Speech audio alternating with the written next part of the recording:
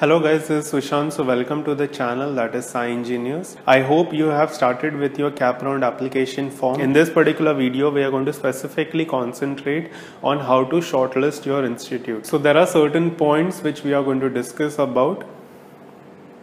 So let's get going.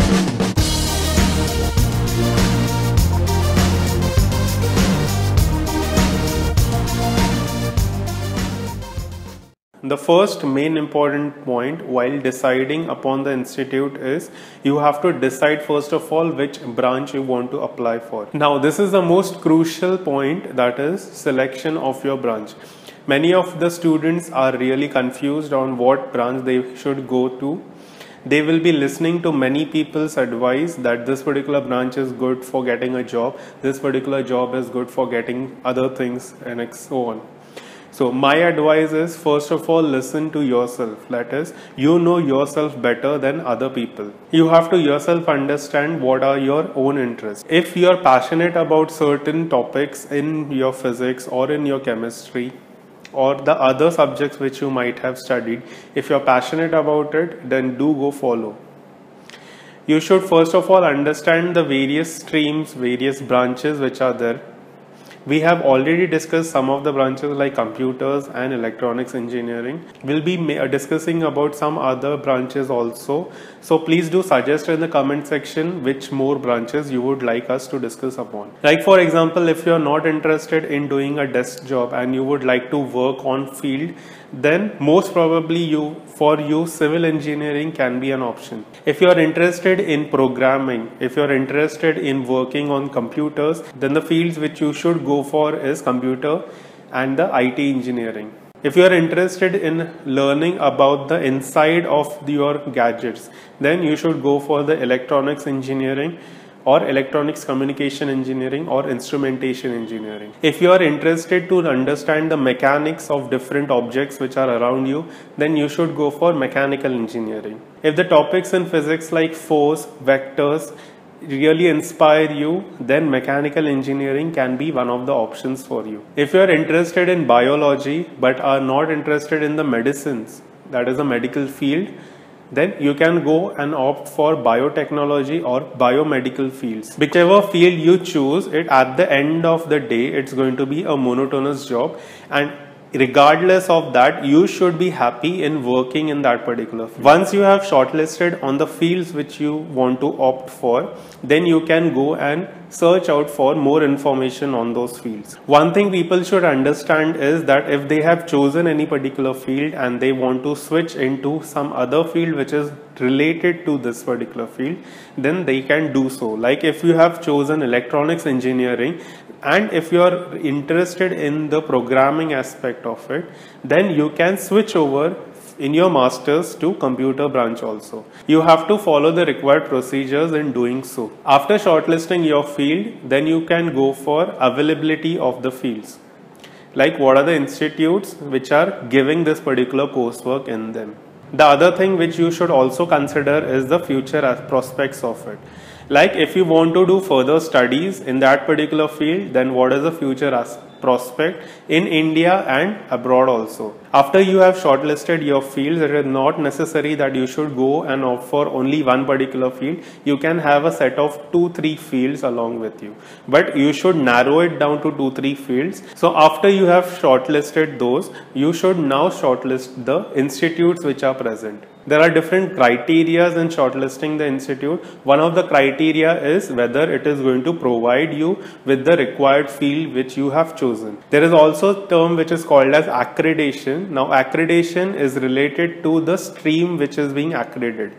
So it is specif specifically to the stream which is present in that particular institute.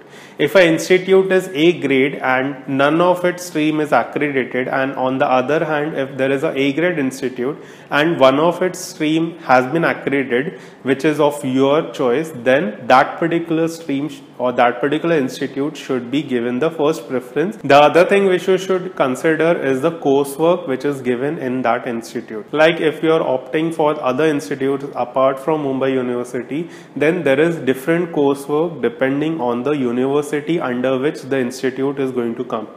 Or if it is a deemed university, then it will follow its own set of coursework and syllabus. Most of the syllabus do run parallelly in most of the institute, but it is mandatory that you go and check the coursework which is being provided in that particular institute. The other thing which you should consider is the job prospect or the placements which are given in that particular institute you should go and contact with the students which are your senior students to understand the job placements which have been done. If you could access to the final year students who might have passed out from that institute or the people who are currently in the final year or who are going to go into the final year, if you could just ask them, then you would get a clear idea on the job prospect in that particular institute you should be able to understand what are the placements which have been done in that particular year, how many companies came in that institute, how many students were selected and all those things. I would advise to at least talk to two or three different seniors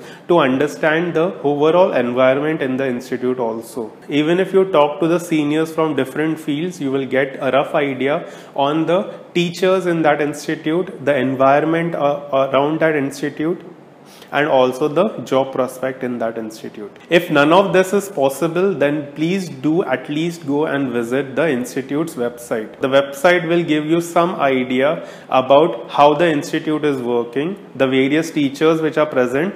Most of the information is provided on the website like the professors who are teaching in different fields, their interest and also the progress of the students and the placements which have been done in that particular institute. So please do at least go and visit the website.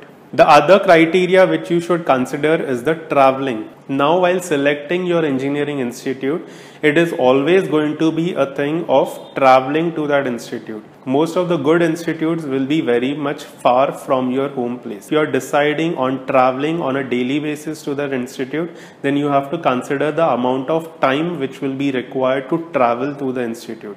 If it is going to take more than 2-3 hours daily traveling, then it would be better if you could get a hostel or some accommodation which is going to be near to the institute. There have been people who do travel for more than 3 hours daily to the college and from the college. So it is not this particular criteria is not mandatory but if it is going to be a real issue for you guys then you have to consider this particular point. Also you should consider the fees of that institute. So depending on the type of institute there will be a different amount of fees which will be levied on you if you're going to visit the institute, then make it a point to visit the lab facilities also because you will be getting your practical knowledge from the labs and make it a point to ask the seniors if you're going to visit that particular college. So these are some of the points which you should consider while filling up your option forms. So it is advisable to start working on the option form from today itself because you have to first of all shortlist the fields which you want to opt for, the institutes which you want to opt for, make down a list of all those institutes and then you will be ready for filling up the option forms. Also, if possible, do try to get in the cutoffs for those institutes so that you get a rough idea whether there is a chance of getting into that institute or not. We'll be sharing with you some more information on the various cap rounds which are going to be held and more on the option forms. What are the things which you should consider while filling up those forms. So please do let us know what more things you would like to know about and what more we can do for you guys. So signing off, this is Sushan. We are from Samartha Vidya. We do conduct classes for engineering that is BE, BTech and also for diploma students. We also conduct classes for the PCM 11th and 12th along with the vocational batches and also we prepare students for the engineering entrances. We also conduct classes for private, group, private or group home tuitions for all these students. To get more information, you can visit our Facebook page and to contact us, you can email us at samarthavidya at the rate gmail.com. Please do share, please do like our videos and please do comment on the videos which we are doing. So keep watching, keep learning and happy learning.